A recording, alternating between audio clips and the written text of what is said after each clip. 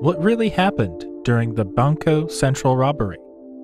The Banco Central burglary was one of the biggest thefts of all time, consisting in the theft of around 160 million Brazilian reals from the vault of the Banco Central branch in Fortaleza back in 2005. What really happened during that day? And how did the burglars make it out of the vault? Welcome to our channel, and today we'll be taking a look at what really happened during the Banco Central robbery. Stay until the end of our video to learn all the secret facts about this incredible robbery. And also subscribe to our channel and turn notifications on for more great videos like today. Without further ado, let's begin with the background of this robbery. Three months before the Banco Central robbery, the criminals involved in it had rented a commercial property in the center of the city. As with many other complex bank thefts, this was planned with a lot of time in advance the criminals had tunneled around 78 meters beneath.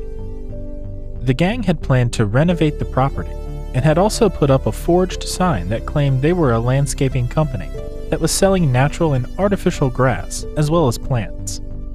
The neighbors estimated that the gang consisted of between 6 and 10 men, described how they had seen vanloads of soil being removed daily, but understood this to be a normal activity of the business. They dug a tunnel that was around 70 centimeters square and also running 4 meters beneath the surface. It had been adorned with wood and plastic, and even had its own lighting and air circulating systems. Then they set to wait a few months before executing their master plan. It wasn't until Saturday, August 2nd, 2005, when the burglars tunneled into the bank and even removed five containers of 50 real notes. All of these had an estimated value of maybe 164,755,150 real, which was around $71.6 million at the time. These notes weighed around 3.5 tons, and the money was uninsured on top of that. The burglars went through the tunnel to evade the bank's internal alarms and sensors, and the burglary remained mostly undiscovered until the bank opened for business the next Monday. Since this was the central bank, the money had to be examined in order to determine whether it should be recirculated or destroyed. Since the bills weren't even numbered sequentially, they were impossible to trace at the time, too. While most of this money has not been recovered, the Brazilian federal police proceeded to investigate the suspects, with a possible connection between the burglars and a bunch of car resellers who seemed to show out of nowhere in Fortaleza.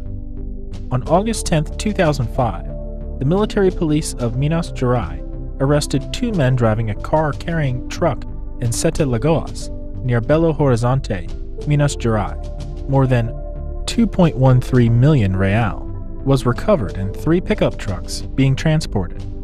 Later, five men were arrested on September 28, 2005, with around 5.22 real in money, and even confessed that they had helped dig the tunnel and were also a part of the robbery. 18 suspects remained at large, and the prosecutors claimed that the group had tried to unsuccessfully charter a small plane days before the robbery to escape the country.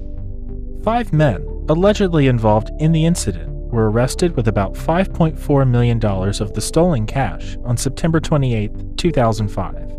The ringleader, Jusivan Antonio Alves dos Santos, was sentenced to 80 years in prison. Next, the body of another of the masterminds, Luis Fernando Ribeiro, was eventually found on a road near Camanducaia, 200 miles west of Rio de Janeiro, and had been shot seven times. Turns out that being part of a robbery puts you in quite a lot of danger even after it's over. Eventually, another suspect, Evandro Jose das Neves, was found at a favela, a low income slum in Sao Paulo. Of all the money stolen, only 20 million reals have been recovered. Where could all this money have gone to? It seems like we'll never find out at this point. So, what do you think of the intriguing Banco Central burglary at Fortaleza? Are you impressed by the efforts taken by these thieves to achieve the robbery? Let us know in the comments. Also, make sure to leave us a like, share this video with your friends, and also subscribe to our channel and turn notifications on for more great videos like today.